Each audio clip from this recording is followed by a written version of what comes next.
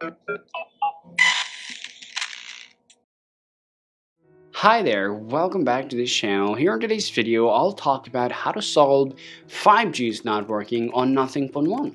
Let's say you've got a Nothing Phone 1 and you're trying to turn on the 5G, but what happens, your 5G maybe doesn't show up, or maybe your 5G won't turn on, or even if it turn on, maybe your phone doesn't support the 5G yet. Now if you want to solve all of the problem that you mentioned right here, don't worry, let me move on and show you some other ways to solve your problem. Now 5G problem can happen multiple reasons. It can be problem with your you know zone, especially the place that you're currently on. At the same time, it can also make the problem with the update and can have a problem with the minor bugs or glitches.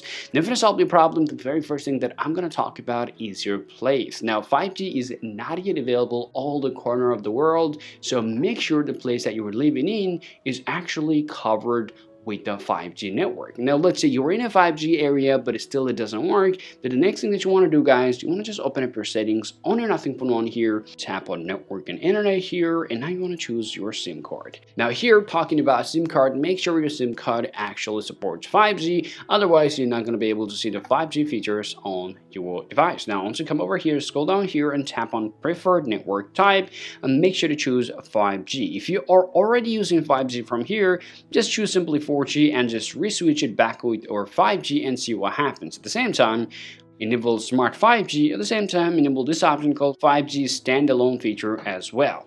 Now at the same time, if you feel like, well, you did this process too, but still you have a problem, then you want to scroll down all the way down here, make sure you're enabling network, I mean automatically selected network.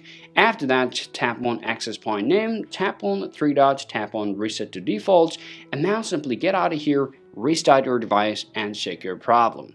Now let's say you did that but still you have a problem on your phone here then there's a couple of things that still you can do to solve your problem. The next things I'm gonna talk about is your SIM card itself. Sometimes your SIM card can actually cause some problems. All you need to do here simply go ahead and take out your SIM card out of your phone, wait around some time, put it back on and see whether you're getting the 5G network now on a Nothing phone or not. Let's say it's still got a problem, then there's a two last thing that you guys can literally follow to solve your problem. First, you can simply head over to settings one more time and you want to scroll down here, tap on system here. Now just go ahead and tap on system update and check the new software update for your phone.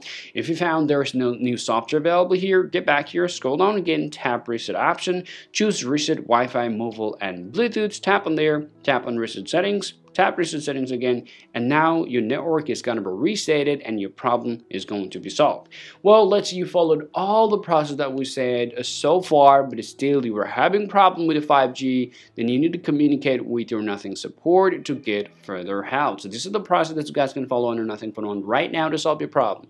I hope you find this video useful. If you think so, drop a like and subscribe to the channel. Thank you for watching this video, and I'll talk to you later. Peace out.